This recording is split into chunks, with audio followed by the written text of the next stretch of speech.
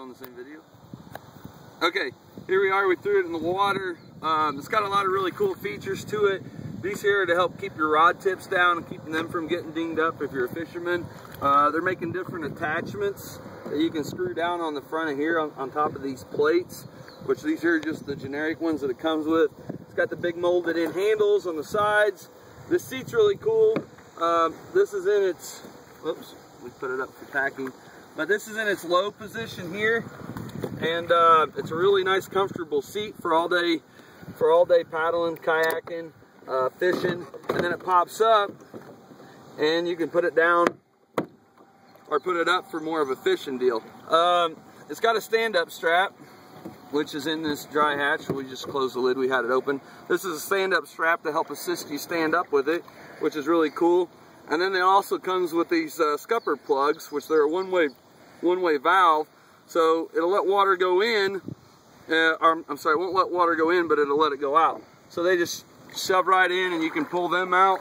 Another cool thing, if you need more room with this seat system, is, is this thing here, uh, flip all the way back. So now you got this big platform uh, to fish off of, and uh, it's got the little side pockets on the side to throw your cell phone, so on and so forth. And this back end of it's really deep as well. That you can put a cooler in or whatever gear you want, which is really cool because it sits in there nice and deep. Uh, advantage of, of this boat over some of the other ones I've seen is that it's cut out a lot more. So your center of gravity is a lot closer to the water. So it's not near as top heavy as some of the other ones that I've been on. And stability factor of it is just unbelievable. I'm going to jump in here and show you the foot pegs are also adjustable. They're a, they're a one-way deal. You can slide them, pull them back with your feet, or you can pull this guy out and then it slides forward. So they're adjustable. Uh, this is a little hatch that opens up. They're gonna have some accessories for it. It's got a nice little drink holder, a little fish measure, and of course it's got a lockable front hatch on it there. But stability of this guy, I'll just put the seat up.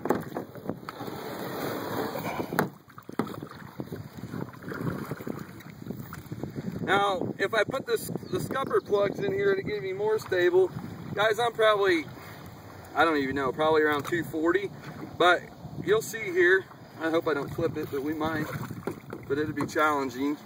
I got both feet on one side of it. And I'm completely out of the out of the rocks. And like I said, if, if we didn't have water coming in on my feet, this thing would be even more stable yet. So the stability of it, being how good your balance is, but this boat is is stable. I mean, super stable. So check them out. Um, it paddles nice, it tracks nice. Uh, it's super duper stable, which is what I'm impressed with. This is a 13 footer. I got a 12 footer that's just a little bit wider. Uh, if you got questions about it, you can contact me or Toby, Jesse or Toby at dravesarchery.com, and we'll be able to ship these to you, drop ship them, whatever, wherever you're at. We can get one to you, and uh, most likely we'll even have some of them here in stock at dravesarchery.com. And so stop on by. If you got questions?